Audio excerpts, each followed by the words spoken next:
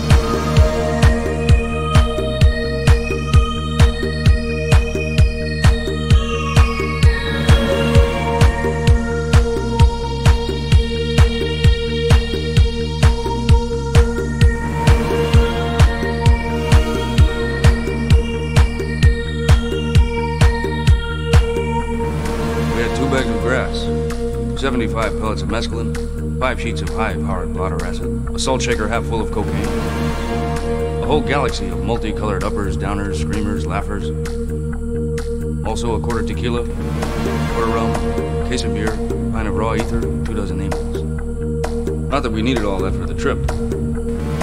Once you get locked into a serious drug addiction, the tendency is to push it as far as you can. We had two bags of grass.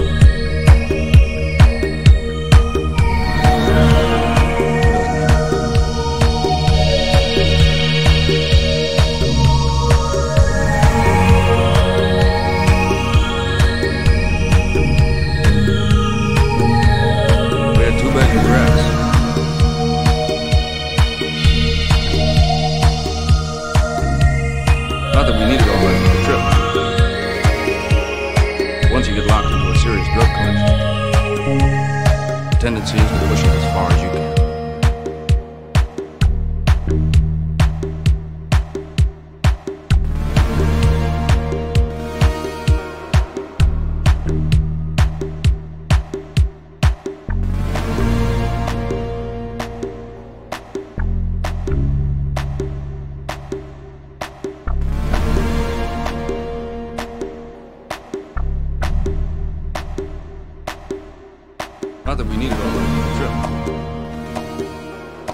Once you get locked into a serious drug collection, the tendency to push it